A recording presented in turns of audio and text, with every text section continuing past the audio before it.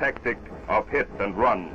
Not for them to heed the warning of von that Germany has never understood the sea. And so, far out in the gray Atlantic, the Nazis play their second card. If we cannot bomb them out, then we will starve them out.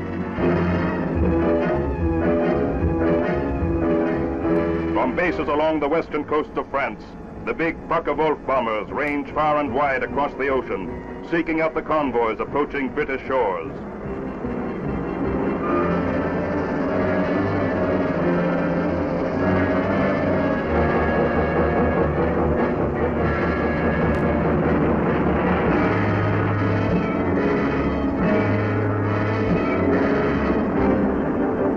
A rapid inspection from low altitude, and the radios begin to speak.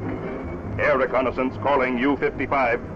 Air reconnaissance calling U-55. Eastbound British convoy, located latitude 5330, longitude 1710. Attack with torpedoes.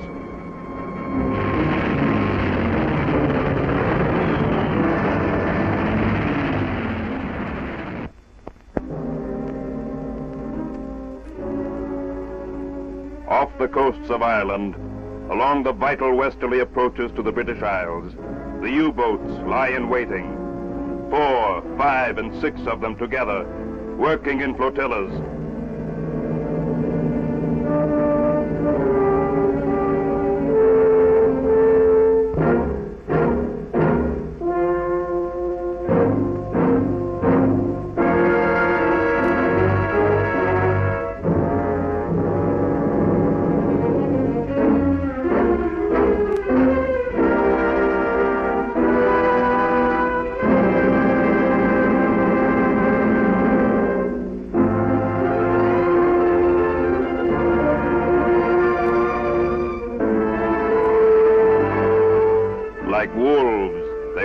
A convoy for days at a stretch, biding their time until the chance of wind and weather offers the fattest prize to their torpedoes.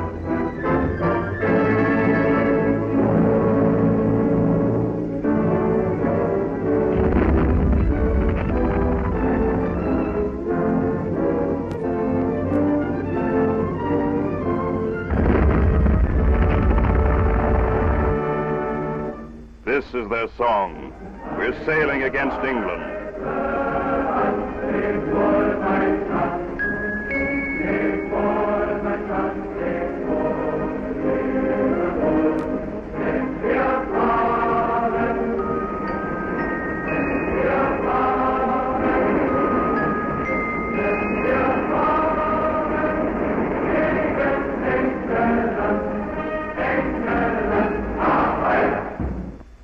Betide the ship attempting to run the gauntlet of the Atlantic alone. Be she allied, be she neutral, the fact that her course is set towards British shores is enough to seal her fate.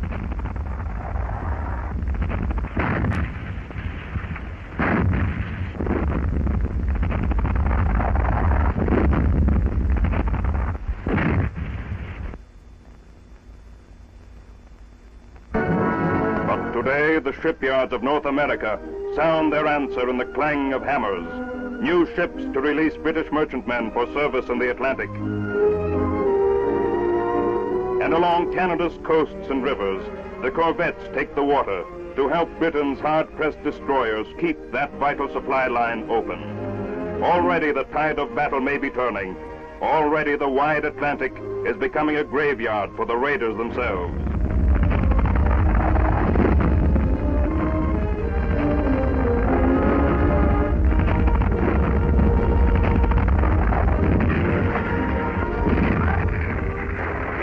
Final answer lies not alone in ships. Hitler himself has said, it is not arms that decide, but the men behind them. And behind these men of Churchill's Island lies a thousand years of the sea in peace and war, in calm and storm. Because of them, the convoys plow on and Britain's lifeline holds.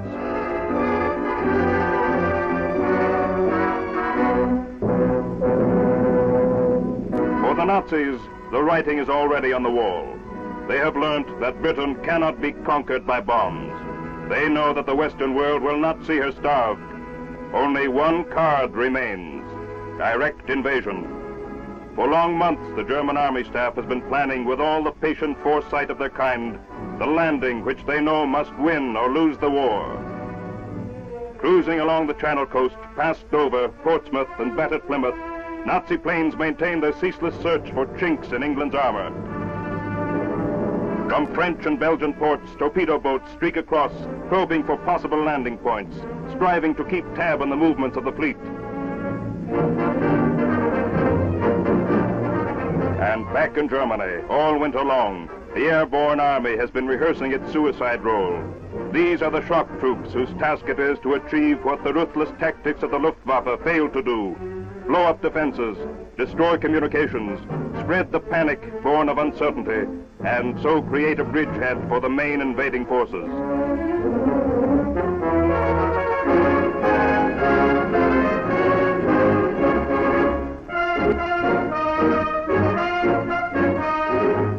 Against this strategy of terror stands the might of Britain, her ships and planes, machines and guns and men arrayed in the greatest system of defense in the history of warfare.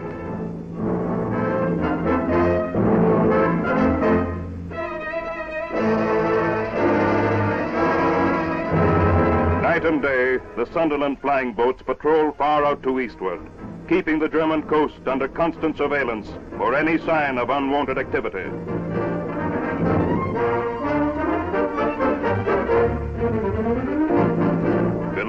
In the squalls of the North Sea, the Navy keeps its sleepless watch for whatever may appear on the eastern horizon, be it the foretops of battleships or the blunt bows of motor barges. Inshore again work the mine layers, forging their chain of death up and down the coasts. Their task? To ensure that seaborne reinforcements with heavy artillery and tanks will never get through alive to seize the bridgeheads opened by the parachutists.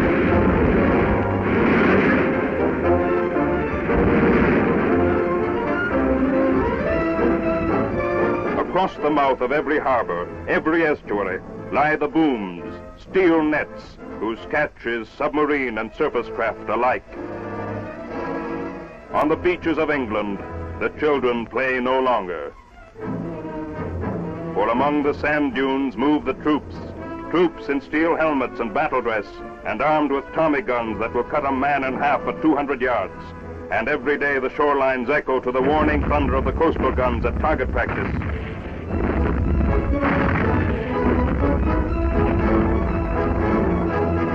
Patrolling every moor and down are the Home Guard, the parachuters, whose job it is to destroy airborne troops before they can consolidate positions.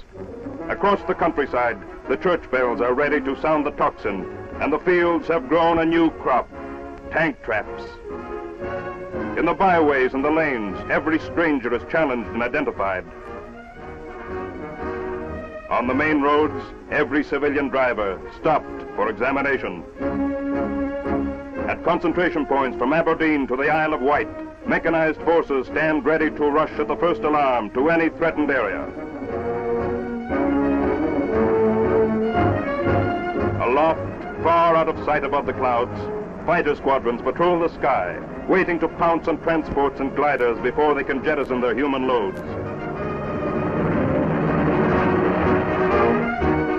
And behind it all, Britain's citizen army daily grows in strength as ever more men, two million, three million, four million, are called to the colors. More strength from home and more from overseas as new troops arrive from Canada and the other dominions to take their places on the ramparts.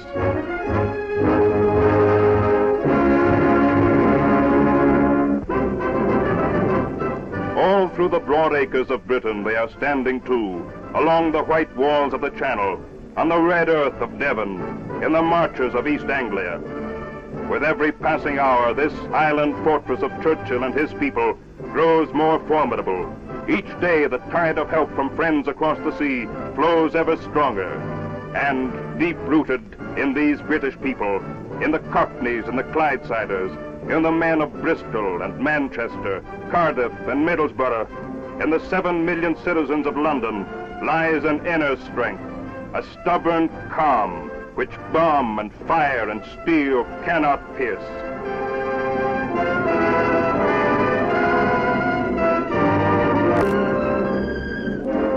So as the ships steam on up channel, past the Lizard and the Needles and the towering cliffs of Beachy Head, they sight once more the watchtowers and the bastions of Churchill's Island. They stand unconquered as they have stood down a thousand years of history. And still they throw their challenge across those 20 miles of water. Come, if you dare.